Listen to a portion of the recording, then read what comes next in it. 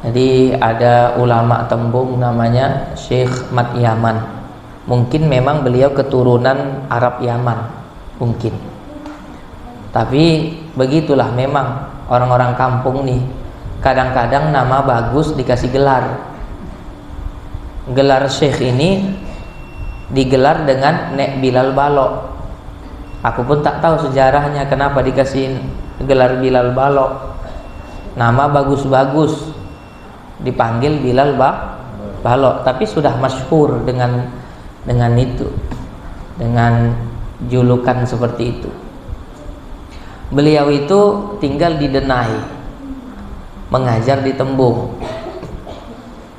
Beliau kalau ngajar itu bawa lampu petromak yang di beliau berjalan di samping beteng sungai itu. Dari Deni ke Tem jalan kaki. Sekarang ini ada kereta ada mobil enak orang kalau mau mengaji. Tapi semangat nggak ada.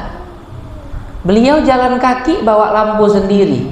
Bukan mau ngaji tapi mau mengajar. Sampai ke musola langgar di sampai di langgar tembung itu dihidupkannya lampunya. Udah dekat maghrib gantungnya Masuk azan maghrib, sholatlah dia. Kadang sendiri, kadang ada jamaahnya. Mau ada, mau nggak ada jamaahnya, beliau sholat. Sholat, Allahu Akbar sholat. Habis sholat, beliau zikir sebentar. Habis itu buka kitab. Kalau ada yang datang mengaji, beliau jelaskan. Habis dibaca, dijelaskan. Dibaca, dijelaskan. Kalau ada yang datang mengaji, kalau nggak ada yang datang, tetap beliau buka, dibaca sendiri, tapi nggak dijelaskan, hanya dibaca, baca kitab tuh. Udah mau dekat nanti isya, tutupnya, tutupnya kitab tadi.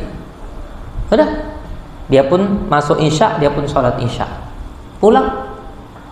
Mau ada orang mengaji, mau tak ada orang mengaji, nggak ada urusan sama dia. Yang wajib itu menuntut ilmu. Yang wajib kan yang nuntut. Iya kan, Pak? Yang wajib kan yang nun yang nuntut kan. Mengaji itu wajib. Sebatas apa? Sebatas lepas fardu ainnya. Wajib. Sisanya fardu kifah, fardu kifayah. Udah udah ditutup, udahlah. Tutup dah. Udah ditutup sama Syekh Bilal Balok tadi? Tutup habis. Ada yang mau ditanya? Udah tutup.